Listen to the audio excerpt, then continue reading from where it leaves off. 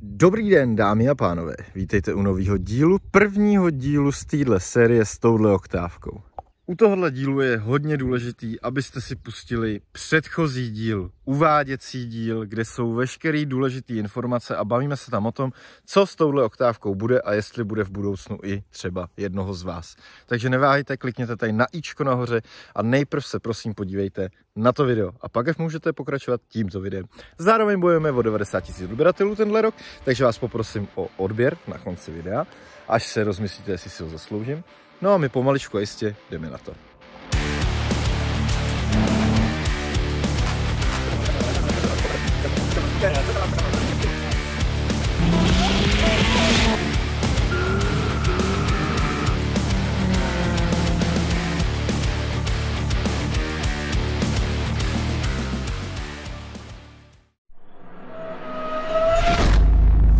Dlouhodobými partnery videa jsou Mro Auto autodíly, včetně olejů PMO,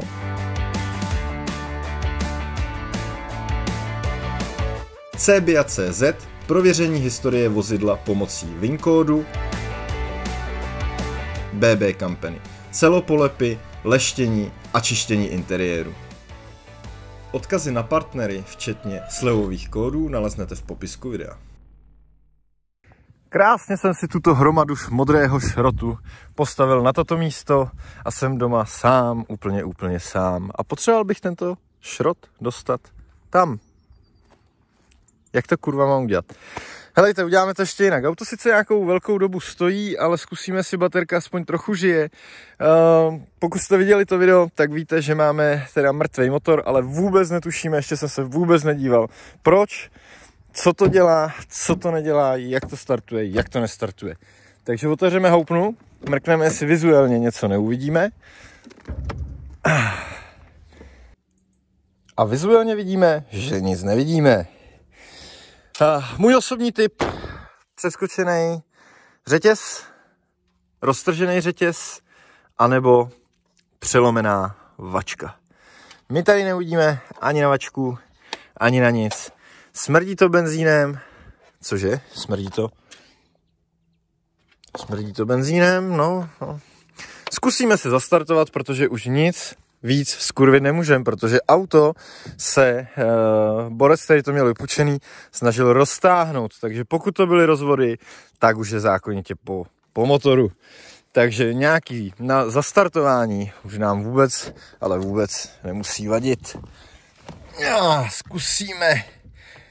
Ah, jestli to ještě trošku žije. Ale žije. Tak slyšme, slyšme.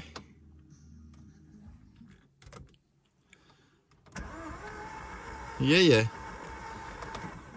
Tam nicht kompresion. No, když už je to takhle dodrbaný a docela to i točí, i okýnka to stáhne, tak co to takhle přes zpátečku dojebat na ten zvedák. Hele, koukej, jo? Tak jedem. Ty vole, ono to vypne startování, dokud nedržíš spojku. Mrtka, takže to ani přesto tam nedokopem. Už je to tady zas, no, zase sedím v koncernu, ty vole, a zase bych měl chuť brečet, řvát, křičet a nadávat. A to jsem u toho prvních pět minut. Ještě, že dneska aspoň hezky, ty vole. Nádech, výdech.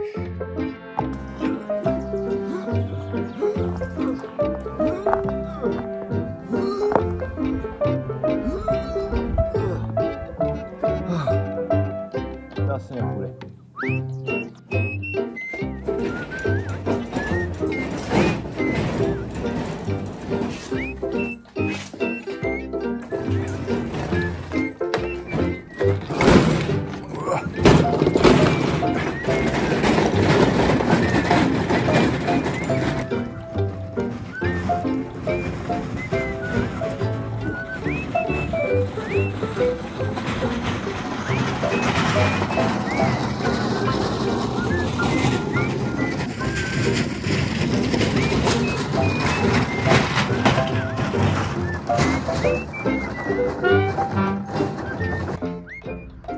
Tak jo, my si prvotně zkusíme se šroubovat dekl. Uh, uvidíme, jestli se tam někam dostaneme, že něco uvidíme. Aspoň na tu vačku. Uh, podle zvuku je jasný, že motor nemá absolutně žádnou kompresi. Prakticky na žádném válci podle toho startu. Takže sundáme si řekl, uvidíme, jak to bude.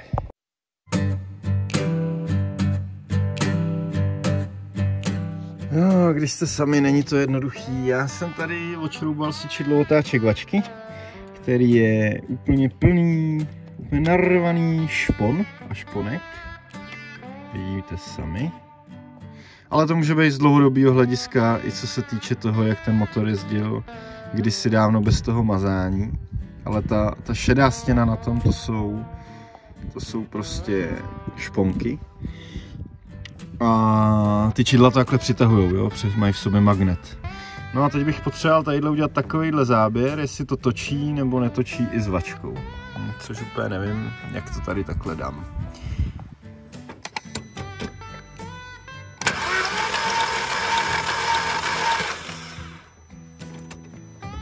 No, takže není jiného zbytí. Vačice se točí, stejně jsme věděli, že nás to nemine. Je třeba se podívat pod ty prsíčka týhle ovečky. Což znamená povolit celý motor, a sundat prsa, zjistit, co se teda stalo a jak moc se stalo. Protože, abych vám pravdu řekl, nejsem schopný konstatovat, jestli se teď síčko může potkat nebo ne. Ale to si všechno ještě tak zjistíme, no. Hmm, takže jsem si vyheroval auto, podložil jsem si ho kozičkou, sundáme kolečko, podběh, číčovinky a ach jo, na trávě. Ten zvedák je jenom tam.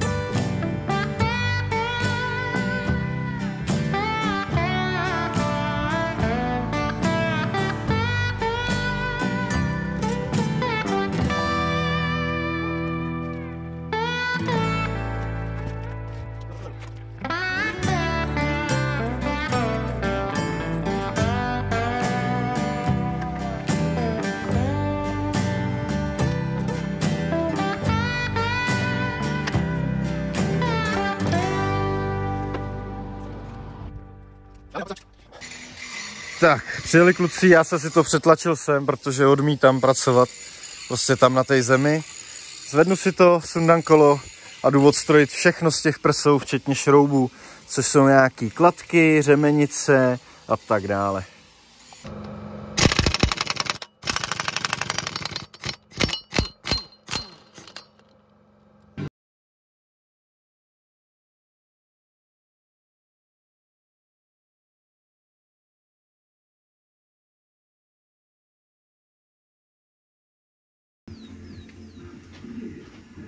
To držíš? Ne, bys mi to řekl. Jo, ale to normálně můžeš spustit. Ty to je jenom kryt motoru. Co potřebuji sundat jenom? Jak jsem si to myslel.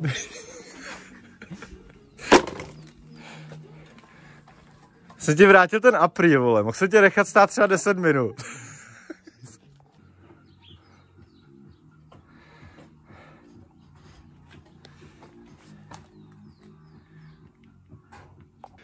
No, mám tady docela takový problém, se kterým se nevím rady. Tady dali na vodní pumpu, dali 12 hraný šrouby, které ještě jsou dotažený jako kreten. Takže ani přes sikovky, ani přes řemen, ani přes všechno, ne.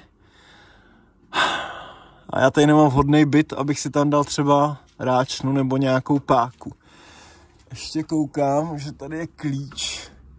Ten by teoreticky šel na to.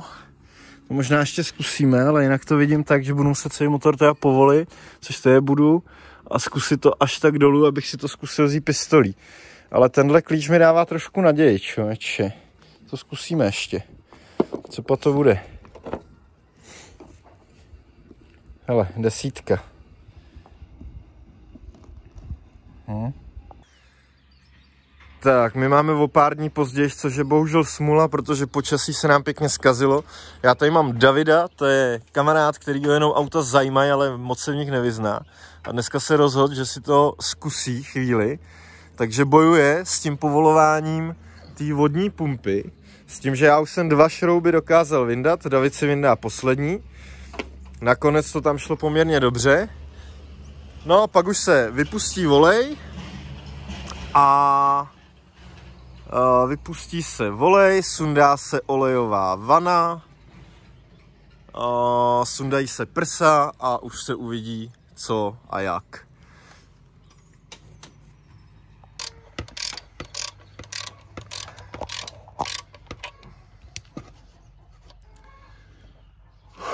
Tak je to tady, je to tady. Dámy a pánové, uzavřete sásky v chatu. Ty vole, ukaž rukavici. No, sice s opuštěným šroubem, dobře, ale ty vole, jsi se hodně bál, víš, že tě ponížím.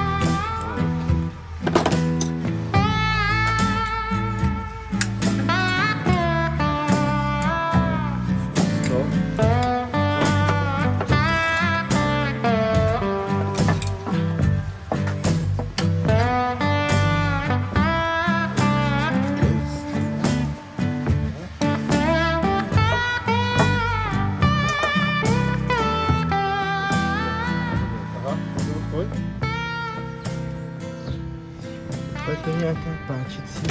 Jo, pěkně. Hezky. Jo, já musím se autem trošku níž.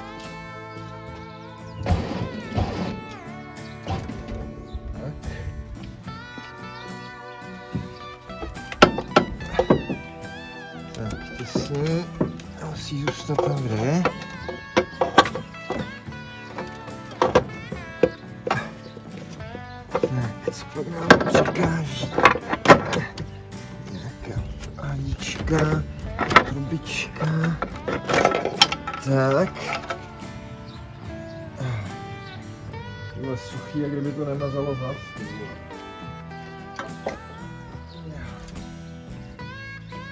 Tak kůk na mámu. Takže, rozvory prasklý nejsou. Jakože řetízí. Takže co se teda stalo?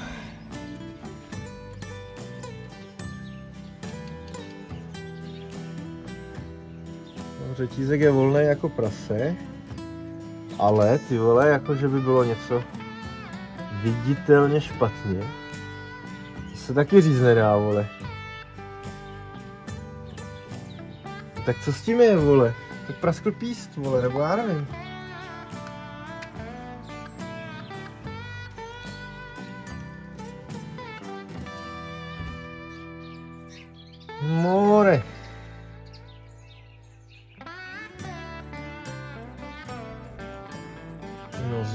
Ošoupaný hrozně teda. Ale dáme si tam šroub od řemenice.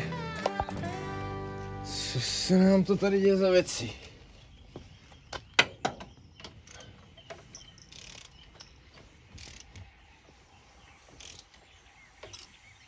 Ty vole, hele to.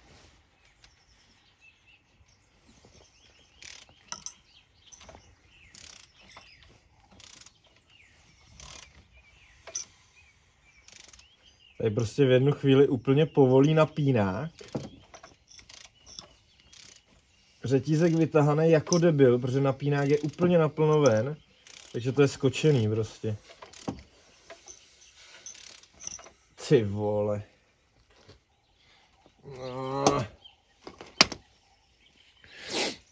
Teď jde o to, jestli se, jestli se naklepaly ventily nebo ne, no.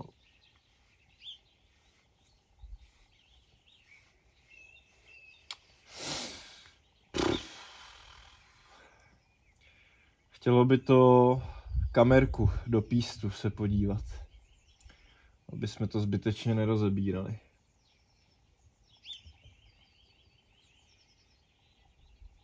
Hej vole. No co si čekal, Robine, jako. Ale tady ty zoubky jsou tak vojetý všude, ty rozvody mají prostě celých těch, hele to. Ty rozvody mají prostě těch 200 tisíc, no. To jsou ty jejich dosmrtní řetízky, vole. To jo, ty píčo. Určitě, vole. No já to nebudu dělat. Nebudu to dělat.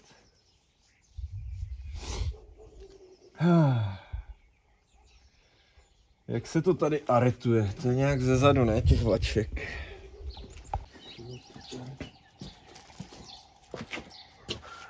Jdi tam z druhé strany, prosím tě. Nasaď si tam tu velkou ráčnu na ten, tady na ten šroub, to uvidíš ze zhora klidně. Tak. A toč doprava. A pomalinku.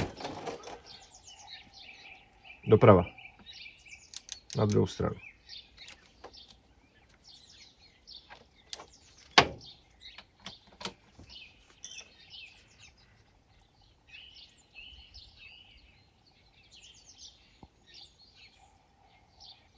To furt, jo? Je.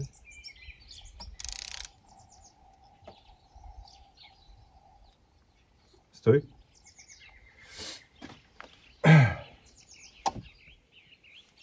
Co? Dělačice rozhozený, už to kureřský dost, nebo potřebujeme ještě o jednu otáčku. Takže ještě jeď.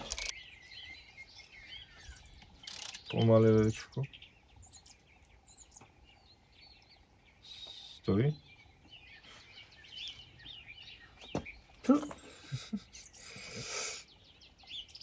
No, tak to máme skočený. Dost zásadně teda skočený. Ach jo.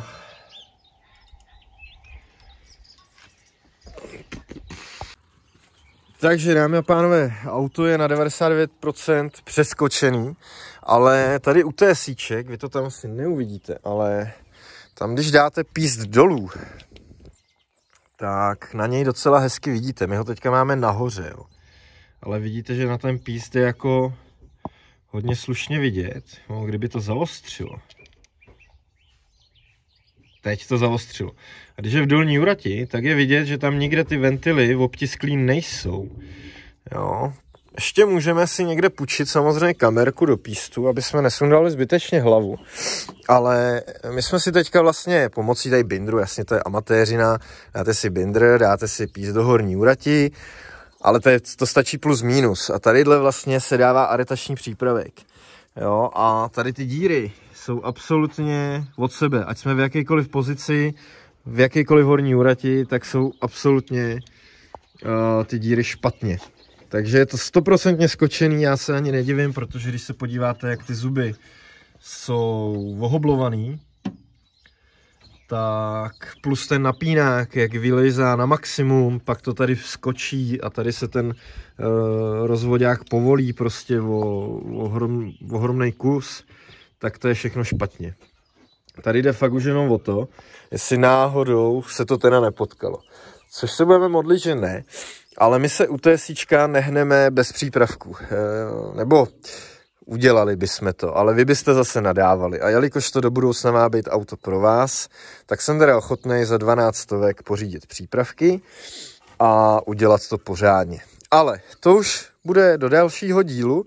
Já jsem se ještě díval, jestli náhodou tahle sada neobsahuje přípravky na té síčko, bohužel ne, tady máme jenom FSI, HTP, PD a rotačku a tak dále.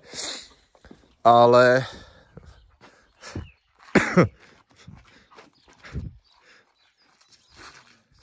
Já jsem tady v depresích z oktávky a oni si tam hrajou jako malí jardové. No, ale eh, tady prostě potřebujeme extra sadu, takže ji pořídíme, nakoupíme teda nový rozvody. Jinak jak jste viděli, tak písty jsou čistěnký. Motor není ani tak zakarbonovaný, je čistý. Já vím, že jsem ho totiž čistil, jak jsme dělali olejový čerpadlo. Ve vaně, co se špon týče, tak nebylo nic závratného. Tohle to jsou bublinky, ne, to je voda, nám do toho prší. To bylo čistý, prsa se vyčistí, byli jsme první, kdo se do toho motoru díval, jo. První, kdo sundal prsa. Jo, takže ty rozvody jsou 100 pro, 100% origo. Takže se nakoupí rozvody. Uh, napínák samozřejmě, vodní pumpa se nemusí kupovat, to je tady extra na, na drážkový řemen, to je tady. No a začne se teda opravovat motor tímto stylem. My víme, že to psalo ještě turbo, než jsem auto kupoval, ale to turbo to může psát na základě těch rozvodů, které už byly mrtví. Takže já si myslím, když se udělají rozvody, dá se nový volej, zkontroluje se to tady všechno, poskládá se to, že by to mohlo fungovat a jet. Tak a to už je teda z dnešního dílu úplně všechno. Já doufám, že vás tahle série bude bavit. Já to všechno neobjednám, co se týče stavu ze spoda toho auta, co se bude potřeba dělat ještě jiné věci a tak dále. To si doprojdeme až potom, co se zprovozní motor, protože bez té pohonné jednotky to asi nemá cenu úplně hrotit. Uh, nic moc mě tady nesralo, když tak se můžete podívat na záznam ze streamu. My jsme streamovali dneska po dlouhé době z dílny, takže nějaký malinký nastráníčko tam bylo, ale nic extra. A já vám moc děkuji, že jste se dívali. Budu se na vás těšit příště u dalšího dílu s touhle ovečkou. No a můžete tam nechat palec, odběr, členství a tak dále a tak dále. Podívat se na e-shop, se mějte krásně, příště se neviděnou. Čego. Čego?